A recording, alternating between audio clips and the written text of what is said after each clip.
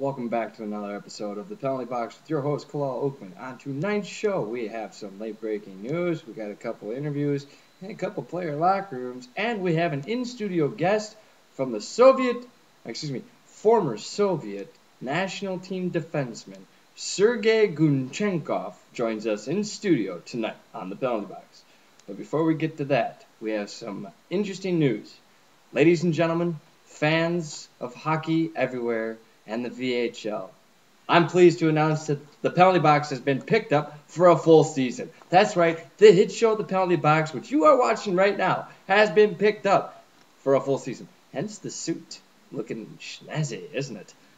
More on that and our interviews coming up after this quick break.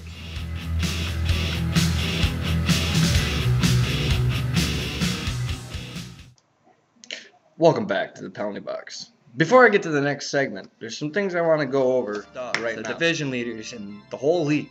I'm not going to give every single team and every single stat. I'm just going to give you a summary, you know, of what's going on in the VHL. And we'll start it off in the East. In the Eastern Atlantic Division, you have the New Jersey Devils off to a fantastic start, 4-0. Followed closely by the Pittsburgh Penguins at 3 and 1, the New York Islanders with a couple late breaking games, both in overtime last night, one against Toronto and one against the Flames, which we brought to you live on the Penalty Box last night. They're at 2 and 1. In the Northeast Division, as I'm talking about Toronto, you have the Boston Bruins at 4 0, and then you have the Montreal Canadiens, Le Quebec, 2 and 2, and then the Toronto Maple Leafs and the Buffalo Sabres both clawing it up at 1 and 3. In the Southeast Division, they have the Washington Capitals and the Tampa Bay Lightning are duking it out for number one. Both are tied at three and one. And then you also have the Thrashers. Don't forget about them. They're also three and one. The Thrashers. Can you believe it? Now in the West, TBU, the tiny and defending champs. Well, they pretty much picked up where they left off. They're four and zero. Followed closely behind by the St. Louis Blues at 3 and 1. Nashville Predators are on their tails at 2 1 and 1. In the Northwest Division, you have the Minnesota Wild off to a fantastic start, 3-0 1. Then you have the Colorado Avalanche at 2 and 2, and then it drops off from there. Edmonton, Calgary, both 1 and 1, and Vancouver. We'll get to Vancouver in a minute. And then finally in the Pacific Division, you have the Anaheim Ducks at 4 0, the Phoenix Coyotes at 4 0, and the Dallas Stars with McKinnis 91 and Brain 7 at 3 1. They lost a heartbreaker to the Boston Bruins last night. And then you have Los Angeles and San Jose picking up the rear. That concludes our Around the League in approximately 90 seconds. Be right back after this short break. Vancouver fans say, no offense, your place sucks. This and more. what, what the? Get the get out of my face! Welcome back. And now time for the two-minute minor. And the two-minute minor consists of this: Vancouver, the Canucks. All right, the Canucks right now are 0 and 4, and frankly, Fans in Vancouver are getting a little offensive about their team's lack of offense. Vancouver goaltenders are on the defensive as they try to defend their play to their critics, as the defense is on the offensive trying to explain that they are as defensive as possible. And frankly, the offense is as offensive as can be, uh, except the lack of offense, which they have none. And the organization should be offended for fans are on the offensive, saying they are offended of the fact that their team has lack of offense and the offense is not producing, which they find offensive. Now, if you could figure that all out, you'd be amazing. But let me to paraphrase a good football coach. I shouldn't say good. I should say a football coach. The, the sheriff. If you know who the sheriff is, believe me and I'm going to paraphrase this 90% of the teams that score more than their opponents win 100% of the time. Bottom line, Vancouver, start scoring goals. You can't win unless you light the lamp in the other end. Your defense and goaltender can only do so much. You, as offensive players, have to start putting the puck back in the net. Crash the net, cycle the puck, throw everything on net, go for an odd bounce. It doesn't have to be pretty. It doesn't be, have to be a highlight reel to hear on the penalty box or frozen moments in time and other you know episodes on the VHL network. It just has to turn on the red light. So, you see this little disc thing? Put it in the back of the net, Vancouver. Give your goalies a break. Huh? Start lighting the lamp. And that's the two-minute minor. Two Minute Minor, brought to you in part by Cherry Bombs. Have one tonight, Cherry Bombs.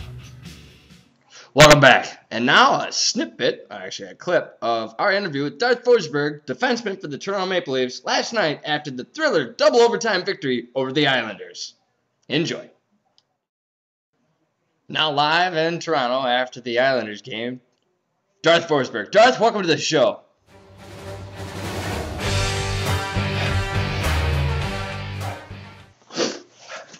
Thanks for having me. Darth, what do you think about your tra- your return back to Toronto and tonight's game against the Islanders? What is your thoughts on that game? Well, well, those Islanders, they're pretty good. Game winning, as you know, the game went in double overtime, and frankly, uh, it's one of the best games of my career. I'd have to say it's right up there with the Chicago game with Plymouth, or the the uh, epic series with uh, the Buffalo Sabres back in beta season one. But uh, wow, I'm just glad to be back on the ice and make my home debut with the, the Maple Leafs fans. I, I believe it was sold out. I, I really couldn't tell. I was trying to pay attention to the guys on the ice, and uh, well, it was good to get out there and hit some guys again, to tell you the truth. But I tell you, if every game goes to double overtime like that, I don't know if I'll be able to take it.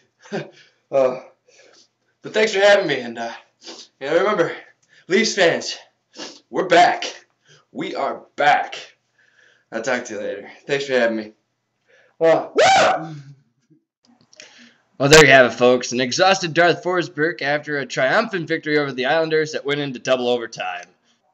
And we'll be back after this short break. Welcome back. I'm pleased to be joined here in studio with former Soviet military national team defenseman Sergei Gunchenkov. Sergei, welcome to the show. Yeah, Gunchenkov. Welcome to the penalty box, Sergei. Danka. The penalty box is one of the greatest shows in all of Mother Russia. We like it. It is very I'm nice. glad you like it. Very I'm nice. glad you like it. Yeah. So you, Yeah. you watch a lot. You played defense. I played defense for Soviet national team. I was goon. I was almost as good as Tiny. Were you really? Nah, as good as tiny. I was better. Better. Guys tried to come in zone with the puck. They Right. try skate in. They do dig. They do flashy stuff. And we're like, no, Yeah. no, no. You cannot score on our net. Right. We get you. And I hit you hit him. him? I hit him hard. You hit them hard.